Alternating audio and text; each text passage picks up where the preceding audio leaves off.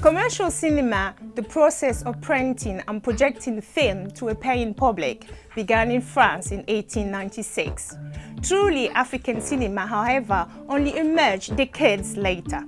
I am going to take you on a journey through its history, starting with the golden age of Hollywood. From the 1920s to the 1960s, big movie studios in America produced thousands of blockbuster films.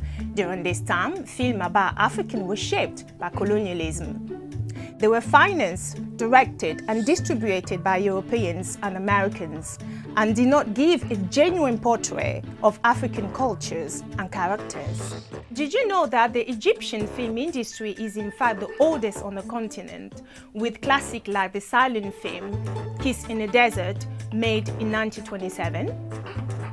The late 1950s and the early 60s saw a wave of African country gains independence, and with that, the African cinema industry started to develop. Sembène Ousmane from Senegal was one of his pioneers. He directed Borom Sarret in 1963. Not only is regarded as the first ever truly African film, he's also considered the father of the African cinema. He went on to make the first ever African film to win an international award, the Prix Jean Vigo in 1966. In 1969, the Pan-African Film and Television Festival, also known as FESPACO, was created, held in Burkina Faso every two years. It is the biggest film event regularly held on the continent.